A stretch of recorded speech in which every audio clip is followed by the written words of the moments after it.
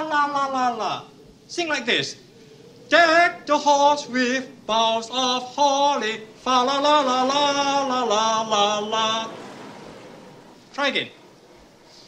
Deck the hall with boughs of glory. Ra ra ra ra ra ra ra ra ra. Stop, stop, stop, stop, stop, stop, stop. Sing something else. This place reminds me of Santa's workshop. Well, ain't this place a geographical oddity? I'll tell you, mate, if every town in the world were like this one, no man would ever feel unwanted. Travel oddities. Odd spot. Welcome to Odd Spots on the Travel Oddities podcast. My name is Amy. My bossy little co-host tonight is going to be Mr. Harley Covington. Harley, how are you? Buenos dias. You're racist. Why am I racist? this is a Christmas gift. This is a Christmas miracle. Aww. It's fragile. It's fragile. Tonight we're going to be talking about the Christmas story, the movie, and the house.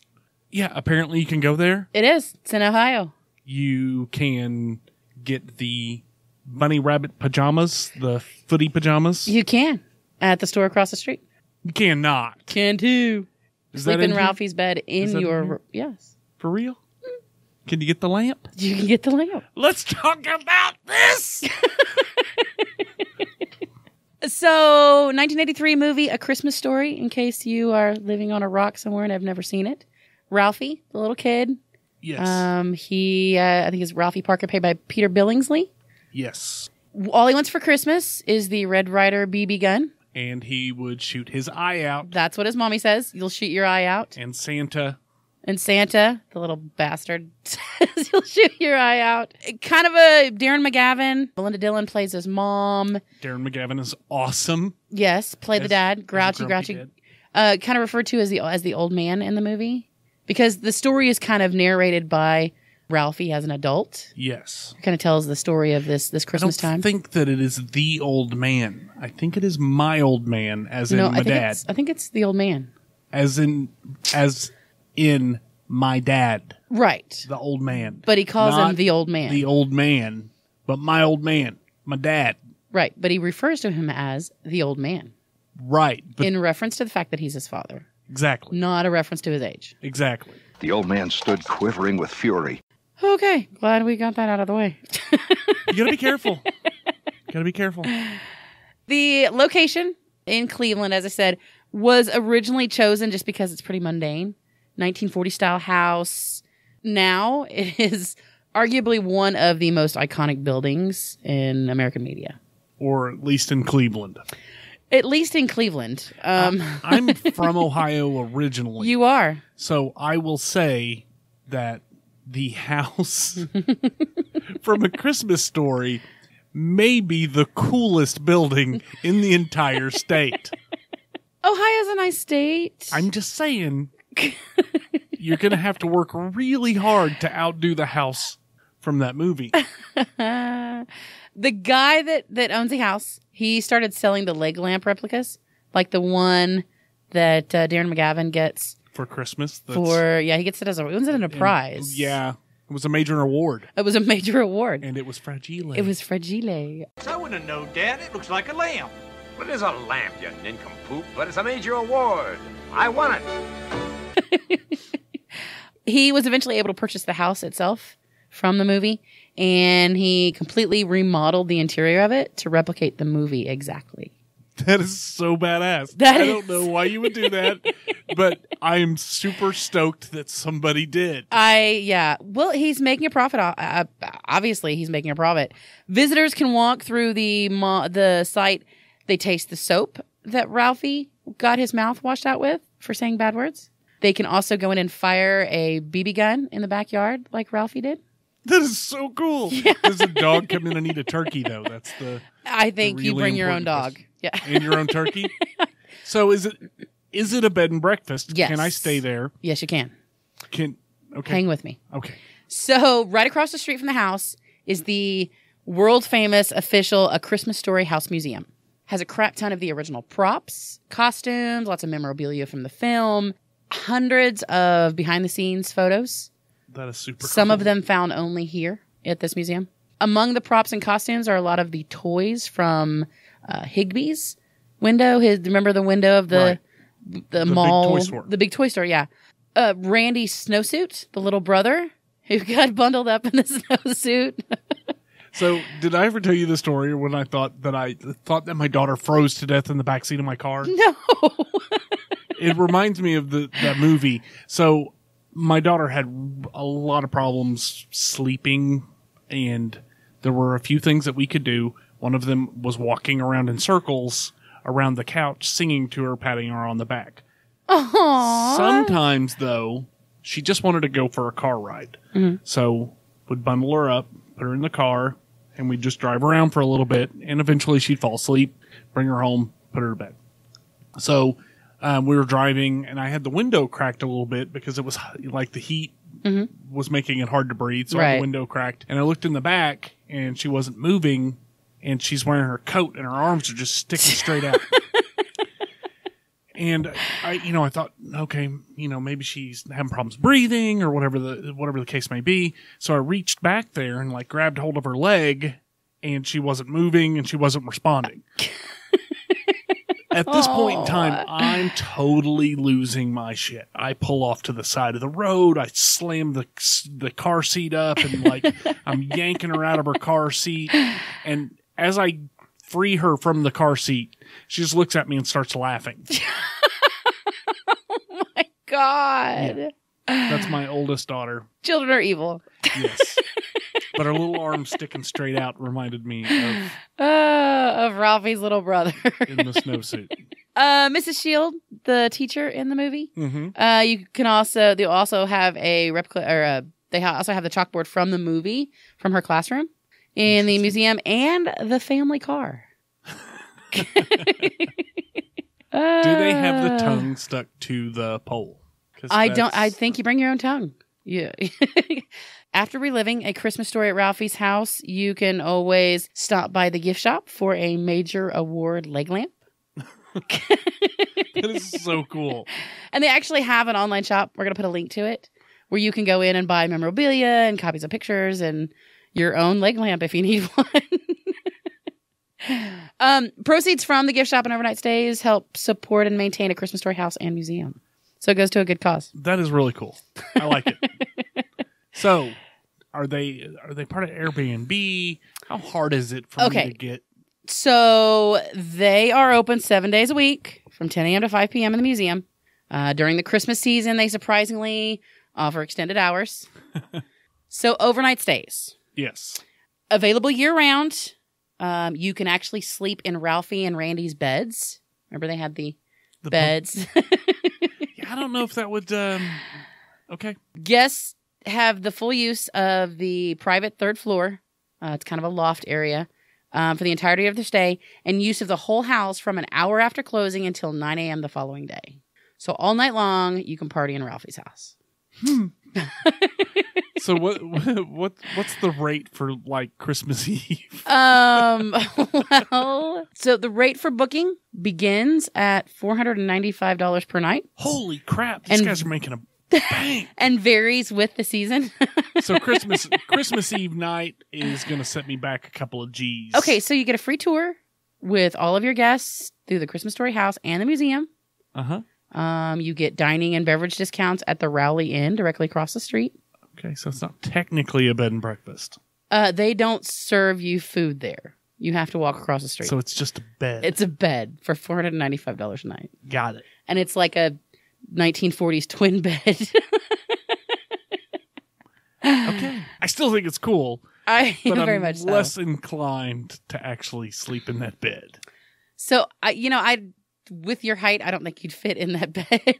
I can make it work, but I your don't know feet if I hanging wanna. two feet over the end of it. Yeah. So some funny things about the movie Yes. that I bet you did not know. I bet I did. Okay, so Ralphie's friends triple dog dare each other, put their tongue on the the school flagpole to see if it would freeze. I triple dog dare you.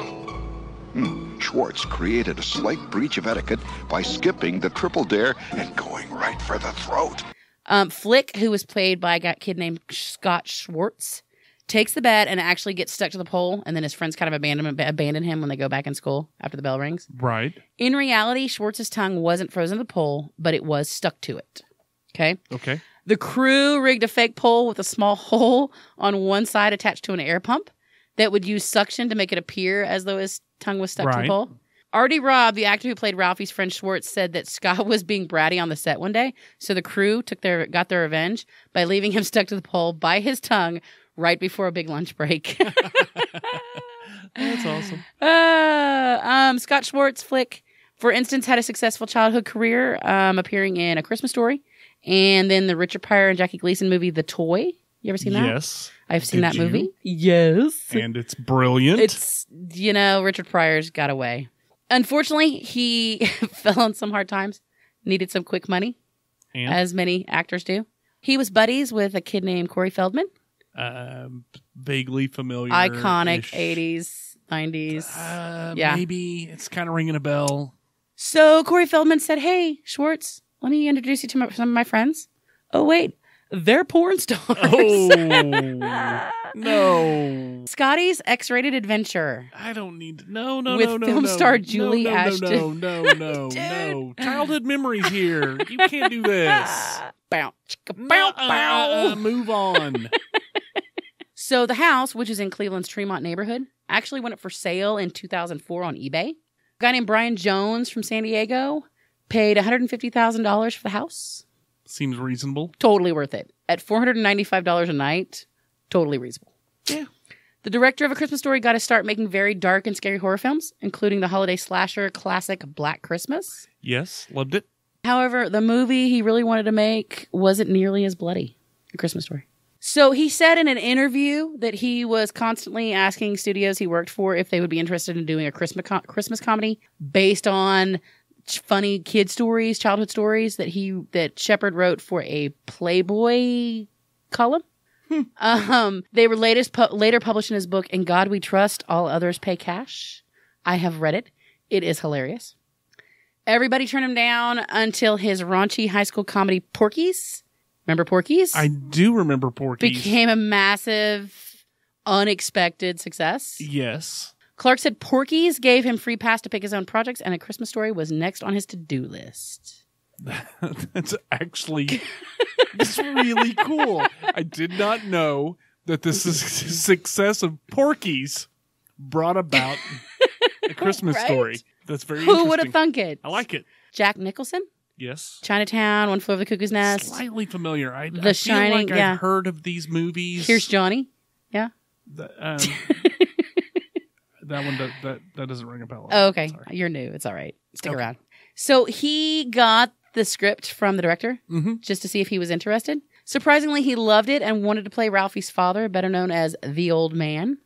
Unfortunately, Nicholson's asking price would have driven the entire film over its modest budget. So Clark chose Darren McGavin. At the time, he had his best known role was Kolchak, the Night Stalker, Which I love. one of my favorite series of all time. bullshit. I'm calling Absolutely. total bullshit that you know Night Stalker. Absolutely. The episode where he has to pour the salt in the zombie's mouth and he climbs into the back of the hearse and then the zombie wakes up. Oh my God. Best episode ever. I, I hate the fact that you know Kolchak, but there are like a billion other movies and TV shows that you have no right in not knowing frontwards and backwards. let's talk about the fact that I can quote most of Quantum Leap too. Okay. Stop it. You're going to give me an aneurysm. That's so yeah, he, that's pissy. I I have lost a little bit of respect for Jack Nicholson. you know, he But- was a big money man at the time. I mean, he was prime of his career for the most part. So, hey, Darren McGavin, I think worked out Yeah, Darren. McGavin was better, I think, than, was- than what Jack Nicholson would have done anyway. Yeah, absolutely. Uh, such a good movie. Jack Nicholson is always a version of Jack Nicholson, Very, very much so. and Ralphie's I think that's a good way to put that. Yeah, was not a version of Jack Nicholson. absolutely. I love it. That's awesome. I have watched um, a Christmas story. I think every year that I've been alive, for the most part. Like you know what I mean? I'm not sure exactly when it came out. However, It was 1981 or 82. yeah. So I was born in '78. So yeah, So- there, there were a few of those years where you couldn't have possibly done that. I wasn't cognitive Or at that point, so it's okay. I mean, but for real, I mean, I always remember watching this. I watched it just the other day. I mean, it's just one of those movies that's on a loop through Christmas. It's always on on some channel. So I think it's TNT. Always has it. Absolutely. So yeah, I mean, I just it's just one of those iconic movies that quintessentially American. I think yes. so. So if you're in the Ohio area and you got some cash to throw around, Absolutely. I think this might be a Christmas activity that's that's worth it. Merry Christmas, you filthy animals. That's the wrong movie. It's still a good movie. It doesn't matter. It's not this movie. You're putting me in a corner. Nobody puts baby in the corner. You're not baby. so No, my nickname, nickname was Hot Lips I don't for a completely innocent reason. know. okay. Check So- us out on Facebook, Twitter, traveloddities.com. Hit us up. Thanks, guys, for sticking with us all year long. You're such a weirdo. Weird, weird, weird, weird, weird. You're so gay. I swear. I'm not gay. You're gay. Not that there's anything wrong with it.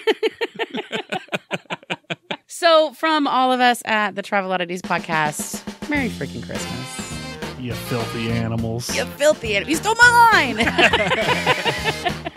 I'm Harley. I'm Amy.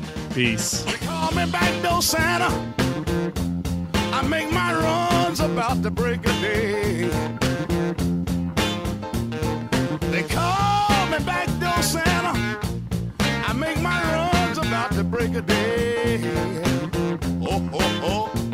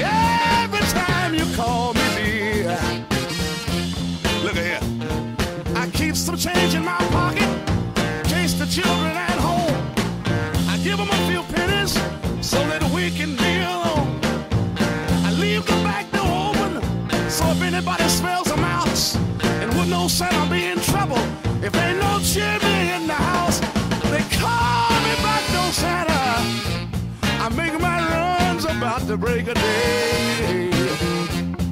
Look at here. I make all the little girls happy while the boys are out to play. That's what they call me, backdoor Santa. That's what they call me.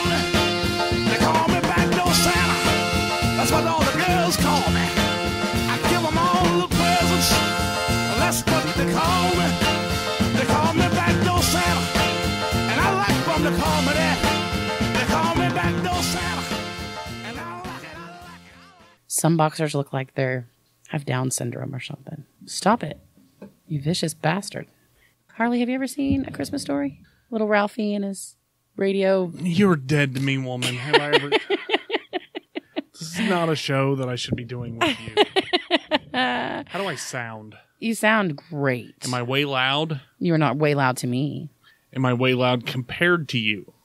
Let's synchronize. Hum. Hum. No, I don't think so. Welcome to Odd Spots on the Travel Oddities podcast. My name is Amy. bitch, you lost your mind. Do you ever let Amber drive when you guys are in the same car together? yes. Do you? I didn't know if it was a I have a penis, I should lead thing or not. No. Okay, just checking. I invented this motherfucker.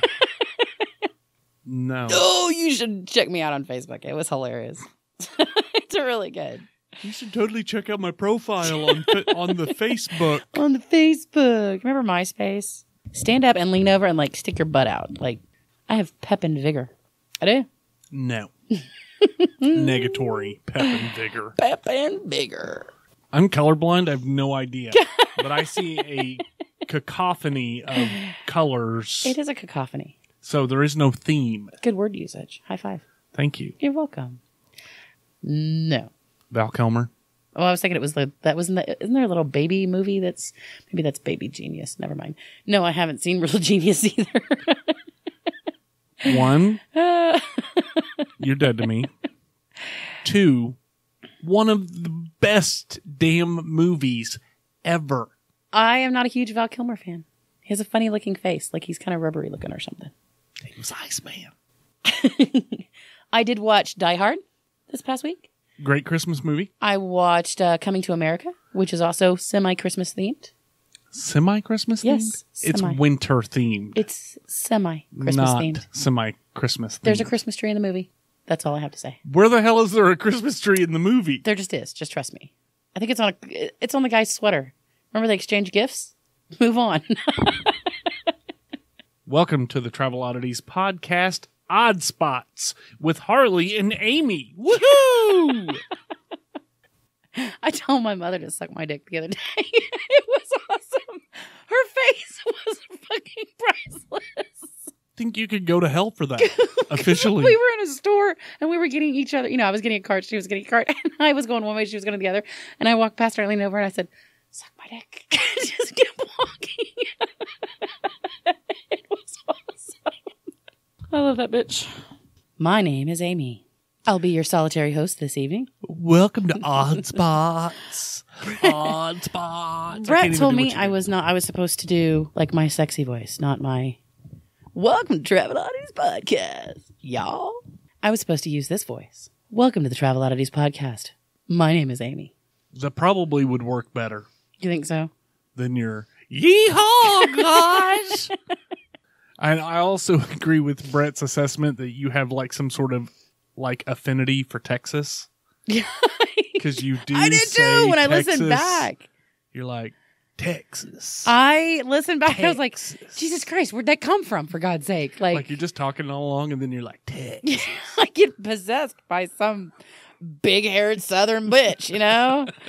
yeah, bangs all jacked up to Jesus and shit. You know? Hey y'all, we're going to Texas. Right. Get y'all some pecan pie. Y'all like pecan Ooh-wee. pie? Welcome to Texas. Pecan pie, it's sweet tea, y'all. I don't think they talk like that there. Uh, they do. No, I've been to Texas, I have been to Texas and too. they don't go. Y'all want some sweet tea and, and pecan pie? yes, they do. No, they don't. That's a little more. That's a little North Carolina. No, I think Yeah. it can be Texas too. No. And I really do say Texas weird. It's Amy, Amy. The word is Texas. When we're going to Texas, we talk like this. Giddy up, y'all. Y'all get in the truck. We going to the big house. Big hair, Amy. Bangs all jacked up to Jesus.